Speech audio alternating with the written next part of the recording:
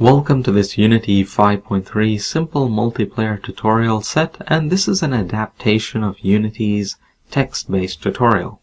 So this is the one, it's on the Unity Learn site and I'll just show you what the end result looks like.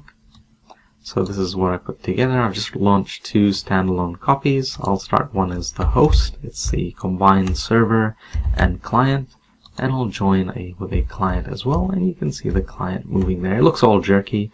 Uh, they don't teach us anything about smoothing uh, in this tutorial set. It is really basic just getting to grips uh, with the basics of the uh, uh, Unity multiplayer system. Okay so you can see the health is synchronized. I can shoot at the other player assuming I can aim at them. Uh, nope. Alright that looks a bit better.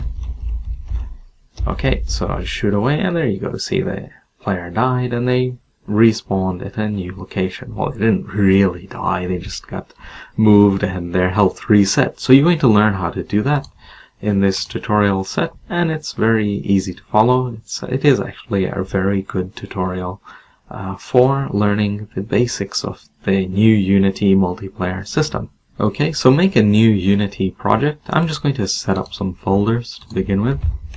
I'll call this simple multiplayer. And inside of that, I'll make another folder. I'll call this My Scenes. Another folder. My Scripts. Another one. My Prefabs. And my materials. Okay, now uh, in the scenes, I'll just say file save scene as.